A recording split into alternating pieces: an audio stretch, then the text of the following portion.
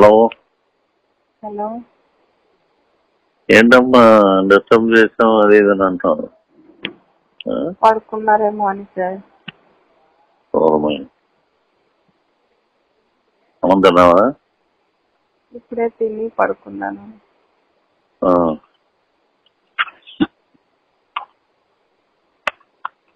రేపు ఉందా డ్యూటీ? తెలియదు ఇంకా. ఎస్వీబీసీ చైర్మన్ పృథ్వీరాజ్ ఒక తీవ్ర వివాదంలో చిక్కున్నారు. ప్రస్తుతం ఆయన ఒక మహిళా ఉద్యోగితో మాట్లాడినట్లు ఒక ఆడియో టేప్ అయితే వైరల్ అవుతుంది సోషల్ మీడియాలో. ఆల్రెడీ ప్రముఖ టీవీ ఛానల్స్లో కూడా దాన్ని ప్రసారం చేశారు.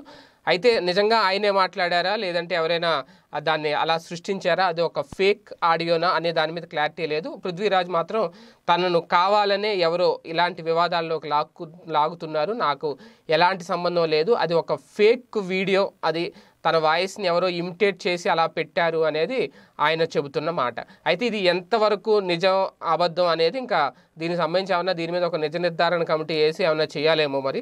కానీ ప్రస్తుతానికైతే పృథ్వీరాజు దాన్ని అయితే తీవ్రంగా ఖండిస్తున్నారు. తనకు ఎలాంటి సంబంధం లేదని చెప్తున్నారు. కాకపోతే ఇప్పుడు సోషల్ మీడియాలో ఇది బాగా వైరల్ అయిపోతుంది.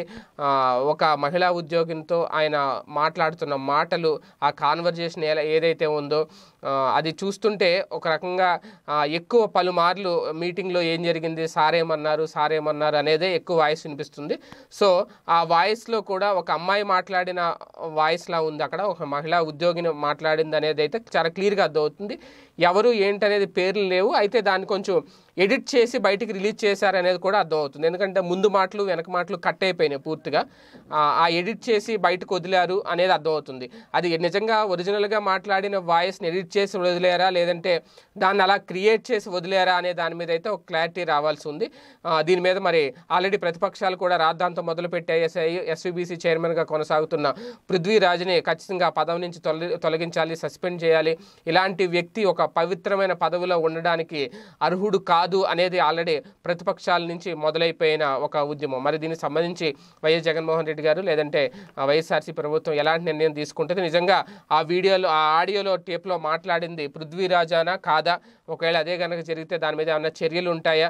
ఏంటి ఇప్పటికే పృథ్వీరాజుని వరుస వివాదాలు చుట్టుకుంటున్నాయి. మొన్న పోసాన్ గారు మాట్లాడిన మాటలు రైతులకు సంబంధించి ఆయన చేసిన కామెంట్లు ఇవన్నీ. ఇప్పుడు మళ్ళీ తాజాగా ఇదొక వివాదం. మరి దీని మీద ఎలాంటి స్పష్టత వస్తుంది? ప్రభుత్వం ఎలాంటి నిర్ణయం తీసుకుంటుంది అనేది వేచి చూడాలి. స్టేట్యూన్ మీరెక్కడున్నా ఏం చేస్తున్నా ప్రపంచంలో ఏం జరుగుతుందనేది ఇప్పుడు మీకు పెట్లోకి తెచ్చేసింది one line app. Political movies రాశి ఫలాలు ఆరోగ్య సలహాలు సీరియల్స్ విశేషాలు. ఇలా ఒకటేమిటి? బోలెడన్ని విశేషాలను మినిట్ టు మినిట్ మీకు అందిస్తుంది one line app. So late ఎందుకు? డిస్క్రిప్షన్లో ఉన్న లింక్ ద్వారా వన్ లైన్ యాప్ డౌన్లోడ్ చేసుకోండి. One line it's for every